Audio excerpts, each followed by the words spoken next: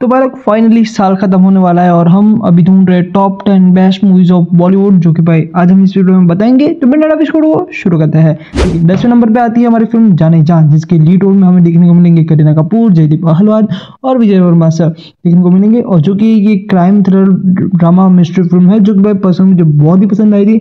और इस फ़िल्म में इतने ट्विस्ट एंड टर्न्स है, जो कि भाई क्लाइमैक्स देख के तो आप मतलब शौक ही हो जाओगे भाई देखने जैसा है। और इस टॉप क्लास स्टोरी के साथ इसकी टॉप क्लास एक्टिंग जो कि जयदीप अहलवाद सर और भाई विजय वर्मा सर ने जो दिखाई है फ़िल्म भाई चूँकि कमाल है भाई, तुम्हें देखनी चाहिए, क्योंकि भाई इस फ़िल्म को तुम्हें मिस नहीं करना चाहिए। फिर साथ ही साथ नवे नंबर पे आती है जराट के, जरा बच के, जो कि भाई एक रोम कॉम फ़िल्म है, जो कि अपने कंटेंट के दम पे सिनेमाघरों में चली, जो कि पचास साठ दिन से ऊपर इस, ये थिएटर में चली है। क्योंकि तभी कोई फ़िल्म नहीं थी थिएटर्स में तो ये फ़िल्म चली गई। इस फ़िल्म का ज़्यादा प्रमोशन भी नहीं किया गया था कि हाँ भाई चलो फ़िल्म चल गई। नहीं भाई, ये इसके कॉन्टेंट के दम पे चली है, क्योंकि भाई तुम्हें ये मिस आउट नहीं करनी चाहिए, जो कि जियो सिनेमा पे अवेलेबल चेकआउट करना, क्योंकि ये फ़िल्म बहुत ही अच्छी है। कुछ अलग ही है, कुछ नया देखने को मिलेगा तुम्हें। फिर आठवें नंबर पे आती है सत्य प्रेम की कथा, जो कि एक रोम कॉम फ़िल्म है, लेकिन फ़िल्म में फ़र्स्ट हाफ़ चलने के बाद भाई सेकंड हाफ़ में जो स्टोरी चलती है, जो कि भाई इसके कंटेंट से जरा से भी सेम टू सेम नहीं है, जो कि पूरी पूरी अलग है, जो कि अपने कंटेंट के दम पे ये फ़िल्म चली है, जो कि मतलब हैरान, परेशान कर देती है। ये फ़िल्म का जो सेंसिटिव जो टॉपिक है, इस फ़िल्म में उठाया गया है, जो कि पर्सनल मुझे फ़िल्म अच्छी लगी, क्योंकि इसके फ़र्स्ट हाफ़ में तो थोड़ी कुछ ऐसा कुछ भी चल रहा था। लेकिन भाई जब सेकंड हाफ़ शुरू हुआ था भाई साहब।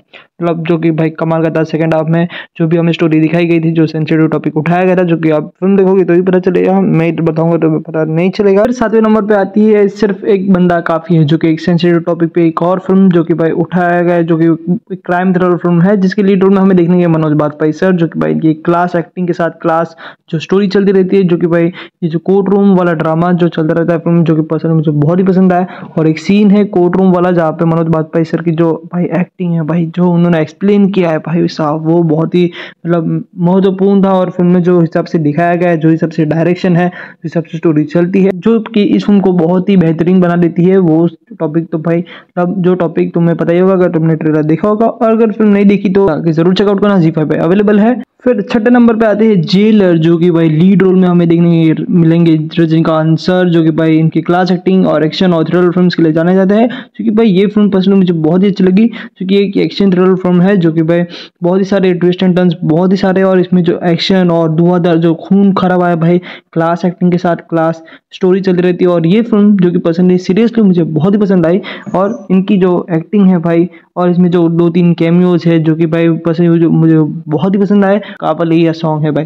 वो तुम्हें देख के मज़ा आ जाएगा। भाई, बहुत ही फ़ेमस हुआ था फ़िल्म के रिलीज़ के पहले ही। नो भाई, ये लोग मतलब साउथ वाली फ़िल्म रिलीज़ होने के पहले ही ड्रॉप कर देते हैं गाने सब, वगैरह वगैरह। क्योंकि तुम्हें ज़रूर देखनी चाहिए फ़िल्म जो कि अमेजोन प्राइम वीडियो पे तुम्हें ये फ़िल्म देखने को मिल जाएगी। फिर पाँचवें नंबर पे आती है भाई एस आर के और राजू रानी की मोस्ट एंटिसिपेटेड फ़िल्म भाई फ़िल्म डंक की, जो कि भाई कॉमेडी और ड्रामा से भरी हुई है, जो कि भाई इसमें कॉमेडी तो ज़्यादा नहीं है, लेकिन भाई इसमें इमोशंस बहुत है, क्योंकि इस फ़िल्म में जो हिसाब से दिखाया गया है, जो डंक की, जो लोग, जो जो मारते हैं, जो कि, जो हिसाब से दिखाया गया है, और जो जो लोग मतलब अमेरिका और लंडन जो बोलते हैं कि भाई हाँ भाई, हम इंडिया में कुछ नहीं है, अमेरिका लंडन जाना है। लेकिन भाई जो हिसाब से इन्होंने डंकी का दिखाया गया है इसमें भाई तुम देख के रो पड़ोगे भाई मतलब लास्ट का क्लाइमैक्स और जो अगर मैं बोलूँ तो भाई विकी कौशल की एक्टिंग भाई क्लास एक्टिंग और एस ने भी अच्छा ही काम किया, लेकिन भाई पर्सनली मुझे विकी कौशल और भाई बोमन ईरान की एक्टिंग बोमन ईरान की एक्टिंग पसंद मुझे बहुत ही ज़्यादा पसंद आई, क्योंकि मैं ज़रूर देखना चाहिए उसमें बहुत ही अच्छी तरह से हमें दिखाया गया कि भाई हम डंकी कैसे मारते हैं वगैरह वगैरह।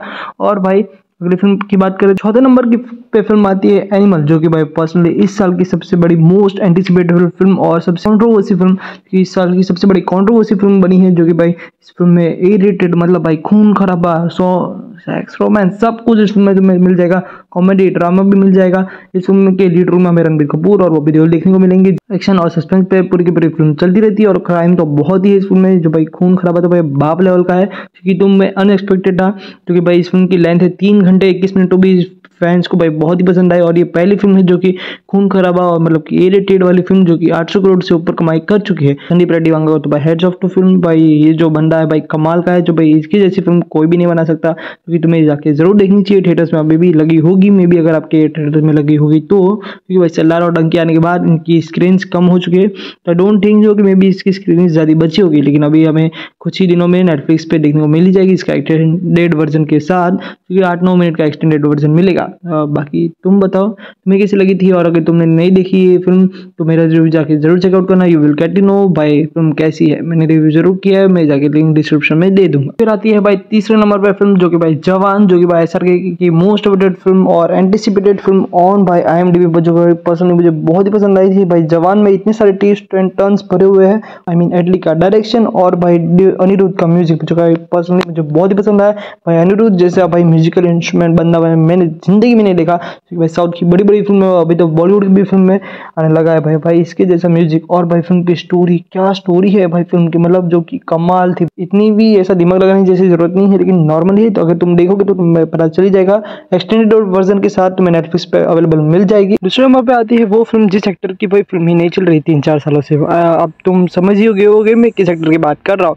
भाई अक्षय कुमार की बात कर रहा हूँ, जो कि भाई ओ माई गॉड टू भाई कहने ये तो अक्षय कुमार है, लेकिन फ़िल्म में जो काम किया है पंकज त्रिपाठी ने भाई कमाल का बंदा है भाई और इनकी टॉप क्लास एक्टिंग की टॉप क्लास स्टोरी भी थी और फ़िल्म कमाल बाकी भाई फ़िल्म के डायरेक्टर ने तो ये भी कहा था कि इस फ़िल्म का एक्सटेंडेड वर्जन भी आएगा, लेकिन भाई नहीं आ पाया। आई डोंट नो वाई इसमें भाई बीस सीन्स कट कर दिए गए थे भाई censor board I don't know भाई अब जब भी आएगा अब आएगा भी या नहीं, वो भी हमें नहीं पता, ठीक है? अगर तुम्हें पता है कि अगर आएगा तो अगर तुम्हें कुछ पता है कि डिटेलिंग में तो ज़्यादा रिकमेंड मुझे ज़रूर बता देना।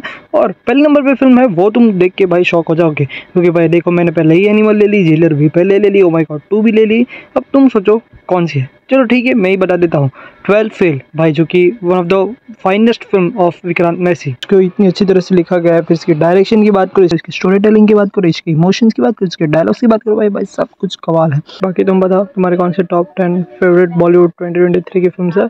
जल्दी जल्दी कमेंट में ज़रूर बताना और इस चैनल पर नहीं हो तो वीडियो को लाइक और चैनल को सब्सक्राइब ज़रूर कर देना। मिलते हैं वीडियो में बाय